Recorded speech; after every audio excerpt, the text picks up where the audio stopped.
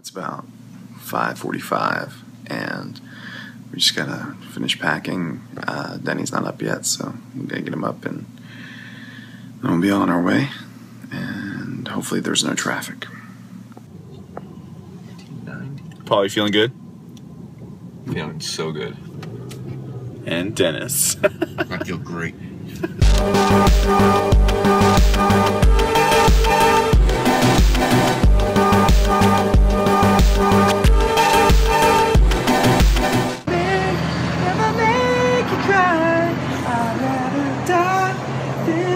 So we're about an hour outside of Nashville, a little bit less than that. We've been on the road for like 10 hours or something like that.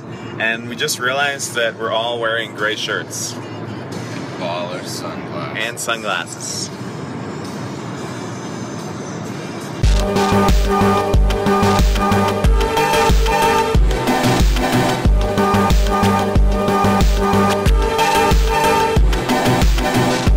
The road trip life is not for everyone.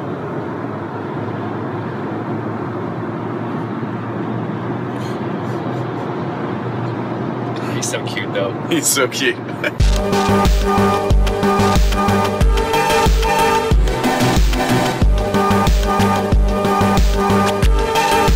yeah.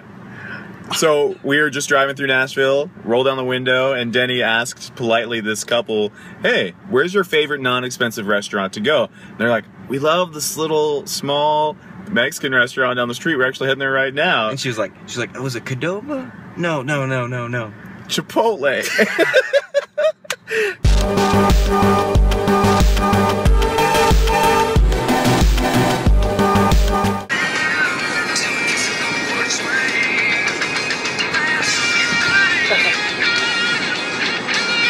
This is Paul trying some uh, Hattie B's hot chicken. It's hot. Yeah? It's hot. It's good though. Yeah. It's good. About to try this. Let's make it happen.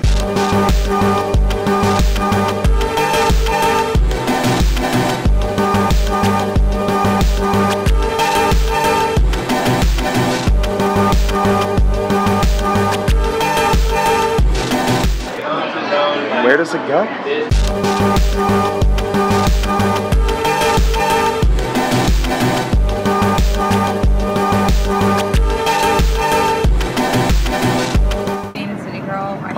Paul is, uh, climbed up there so he could see the city better. Kind of terrifying for most parties involved. Paul, if you fell, it wouldn't hurt that bad.